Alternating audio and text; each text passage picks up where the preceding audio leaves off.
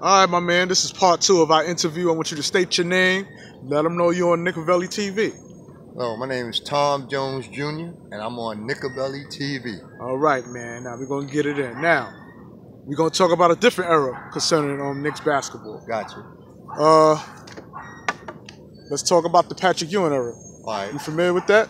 Patrick Ewing came in the 80s. Oh, oh yeah, yeah, yeah. Patrick Ewing came in the 80s. Right. The first time that the Knicks ever got a first round draft choice back in the day. He was a first round draft choice. Okay. Came out of Georgetown. All right. Had just won the championship that year. Okay. I got you, boss, because you doing it. Just came out of Georgetown, yeah, he won the championship.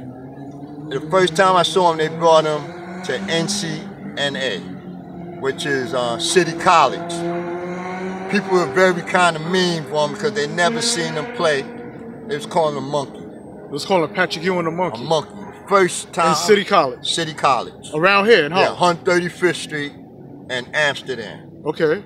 And I was like, wow, I didn't even get it, brother. You, know, you haven't even seen him play in the NBA. Okay. That year, he proved himself. Wow. Which I mean by he proved himself, the people recognize him as this is a 7'2 center that shoots like a guard, Mm. plays defense, Mm. Run back up and down the court. Patrick Ewing was a great center. Okay. Uh, he took the Knicks places that you would never think they would go after you saw the old Knicks. They built around Patrick Ewing. They got other players to- as long as Patrick Ewing, but to me, he was one of the greatest centers that I've ever seen in the league. You like him over Willis Reed? No. No. Not I'm, that. I'm- I'm old school, so I, I'm going to stick with we. But if I had to name two of the Knicks' best centers, it would be Patrick Ewing and Willis Reed. That, that's the two best centers I ever seen on the Knicks. what about Bernard King? Bernard King was a forward. Oh, excuse me. Power Nickavelli- forward. Power forward. Grand, grandmama now. They Okay. call him. He No, no, no. That was Larry Johnson. They call him Grandmama. Larry Johnson. That's what you're talking about, right? No, I said Bernard King. Oh, the the, Knicks. the King brothers. They from New York. Yeah, wasn't he a, a Bernard, center? no. Bernard King was a power forward, Okay. shooting power forward. Okay. His brother was Albert King, who played for the Nets, so they would always see each other. Bernard was on the Knicks, and he was on the Nets. They Okay. came out of Brooklyn. You like the Bernard King's game? Yeah, yeah, loved him. Bernard King is one of the players that in the holiday season, his thumbs was broken one time. He hit 52 back-to-back games with broken thumbs. Bernard King. Bernard King Wow. on the Knicks, On the Knicks. back to back. Hit him one night and then he hit him again the next night.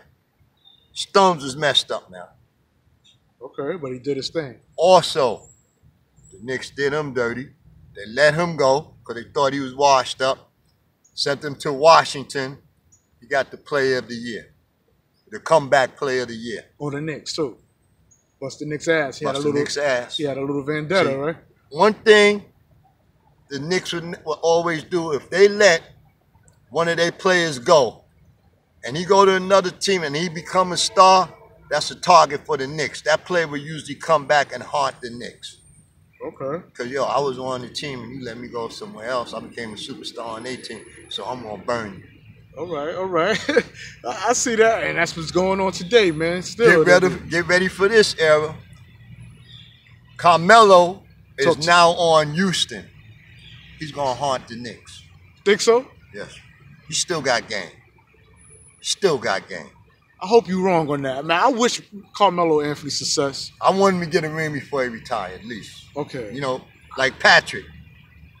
Patrick, they got so close. And then the Knicks did the same thing to Patrick. Oh, it's time for you to go. And he sent them, you know, to, To the- Seattle. Yeah, yeah. They, they, they shitted on Pat. I ain't like that. Let that man retire as a Knick. He deserved it. I'm gonna mention the name on on the Knicks player. It's Xavier McDaniel. Oh, Talk about the X Men. Talk to me. from him being in Seattle, and then when he came to the Knicks, he was a threat.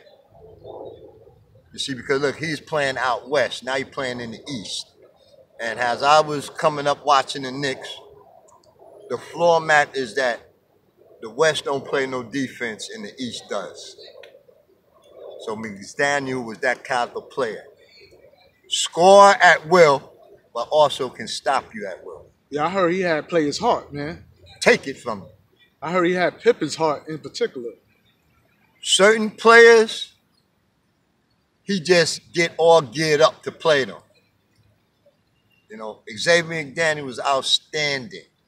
Another guy that could play two or three positions. Xavier McDaniel, husky, tough, defender. Don't back down. Didn't back down for the players or the refs. It was never a crybaby. He get hit, he take it. Just jump up and take it. But when you go back down, he gonna get you.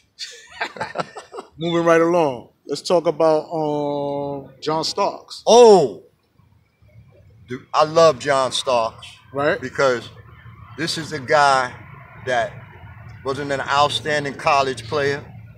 This guy packed bags in the supermarket while going to a little media college. The Knicks gave him a chance, and he excelled. He was one of the people there that make that that make other players look better around him. Right. He had heart. Okay. When I say he had heart, if anybody's in my area, you remember he was one of the only players to dunk on Jordan in the championship. In the playoffs. I was about to say that, yeah, playoffs. Not to say, like, playoffs, sorry. He dunked on Jordan in the playoffs. Mind you now, he was not that big, not that tall. You look at John Starks like a little mediocre player, but he, he would shoot you down and he was not scared to play defense. And you know what? Speaking of defense, if I'm not mistaken, I think Michael Jordan credit him as being one of the most defensive players. Players on, and when they asked Jordan, how mean, you know, Jordan had a couple of players that were finna, but he said John Starks always gave him trouble. Got him good. Yeah, he said, you say he goes somewhere. He said John Starks was like a pest. He go this way, he's there. You go that way, he's there. John Starks would stay on you. Okay. You know, heart of a player. Uh, Anthony Mason. Oh, the animal. He's no longer with us, man. I, I, I miss him because I watched that brother play from the Rucker up in Harlem to where the Knicks took him and another bad defender.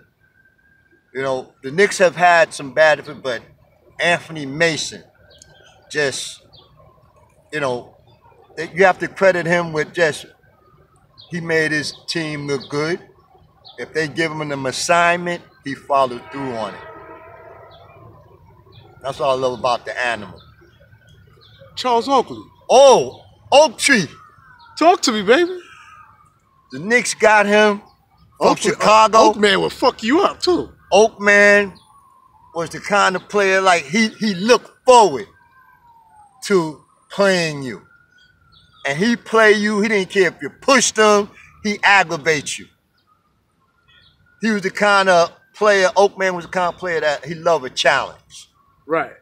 And defense, see, these are the guys that made the Knicks look good. Right. Okay. Give me another one, bro. Oh, you ready, uh, Latrell Sprewell. Woo-hoo-hoo! Cornrow man, I call him. Yeah. All right, he got in a little trouble. Yeah, he choked, Choked the shit the out. coach. Yeah. Knicks say, yo, we're gonna take a chance on him.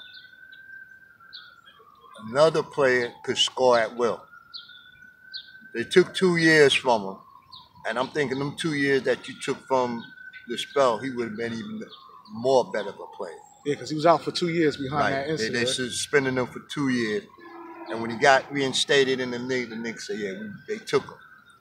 he got they- that bad boy. And, Yeah, and, the and look, Knicks was like, Oakley loved him because he was just like the Oak man. Yo, wh- what you want to do, Oak? Remember, you were playing with the animal. You got Charles Oakley. You got John Starks. You got Patrick Ewing. Anthony you got Mason. Anthony Mason. You got you got you got a house. Okay. Now we're gonna talk about today's Knicks. Okay. Chris Porzingis. young player, you got to give him a chance. You got to give him a chance. Uh, for a big man, he can shoot. He can handle the ball. Just got to get a little more experience. And I think this injury that he, is going through now, when he come back, is going to make him even better. If the Knicks can learn to build around that, because that's their future star. Okay. Zingis. I love him. Young kid. He's young. Right. Yeah, we Man. got Coach Fizdale now. Yeah, he, and he know how to handle. You got to get coaches that know how to handle young players, Right. With the attitude and stuff and all of this. If you don't have a coach that can do that, they're just going to walk right over you. All right. Trey Burke. Oh, listen, young kid, They call him the baby AI, you know? he got a shot, and he's proven himself. You know, if you keep the players, if the Knicks can keep the players they got now and keep them healthy, they got a shot. Burke is, is an eager player, and he's still in the learning process too, but he's good. Yeah, he came for the Utah Jazz. Yeah, Uh, I think he was the first round ninth pick. yeah, ninth pick, And yeah, and they, 2013, if I'm not mistaken. that's it. You got your Yeah, thing. yeah, yeah, yeah. I mean, I'm learning, man. Let me tell you something. Knikaveli ain't the greatest info as far I'm learning from my interviews, man. I learn from my research. I don't edit my videos, so if I make a mistake, once I put it up, it is what it is. My Nicovellians, they tear my ass up, but it's all love, man. And I learn from people in the comments and all that. So I'm never one to come across like I know it all. The but Knicks- I am the, the, the, the creator of this channel. I'm gonna blow this shit up. if man. the Knicks, they haven't had much success as a coach, as coaches, Mhm. you know, but they seem like they got a guy now that he's going to work with the people he got instead of criticizing them, right. you know, oh he ain't this or he ain't, and then oh letting them go. Work with them. Talk to me about the new draft picks. Are you familiar with Kevin Knox, Mitchell Oh Robinson? my God! Talk to me about Kevin Knox. Let me tell you something. That was the best pick that I've seen in a long time that the Knicks got because I've been watching the summer league. This kid is proving his point. They, the Knicks, Knicks did good to take him. He's a future superstar to me. And if if I'm hoping, I hope you know when Vizingis come back and they put this guy, put this team together, he's gonna start. He's gonna start. He's proven himself as a big man. I'm coming up. You got lazy big men. Kevin Knox plays both ends of the court, Right, and you haven't seen a big man do that in a long time. And that's what Porzingis does too. right. They po- when you got big men that play both ends of the court, that makes your whole team better. All right. Frank Ntilikina. Young kid, another young kid, He catch a lot of slack because he don't put up a lot of numbers. right? But But, he but his defense game is impeccable. man. defense is good and assists. Right. Remember, assist counts